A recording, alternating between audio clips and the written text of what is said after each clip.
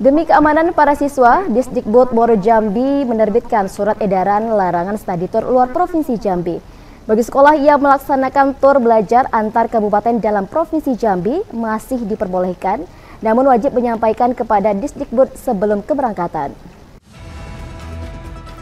Dinas Pendidikan dan Kebudayaan Kabupaten Muaro Jambi mengeluarkan surat edaran terkait dengan pelaksanaan studi tour bagi satuan pendidikan baik jenjang taman kanak-kanak, sekolah dasar dan sekolah menengah pertama.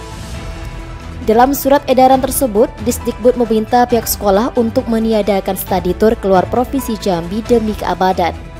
Study tour hanya boleh dilakukan ke tempat wisata yang ada di kabupaten kota dalam Provinsi Jambi.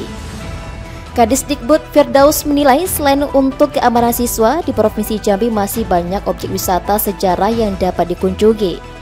Firdaus menegaskan bagi sekolah yang ingin melaksanakan studi tour dalam Provinsi Jambi wajib melaporkan kepada Disdikbud sebelum pelaksanaan tur belajar.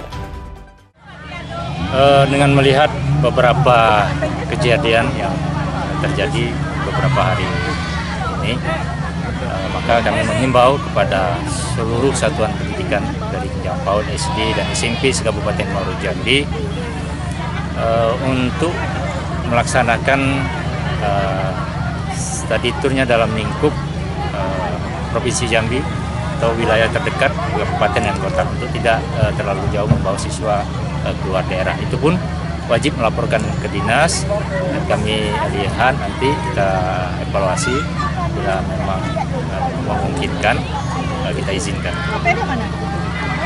Itu bentuk surat edaran atau gimana ya, nanti? Edaran secara tertulis. Larangan berarti? Pada satuan pendidikan. Larangan terbatas saja. Firdaus juga mengingatkan kepada pihak sekolah agar study tour tidak memberatkan siswa dan harus berdasarkan kesepakatan antar sekolah dengan orang tua. Novia Putri Sanjaya, Cek TV melaporkan.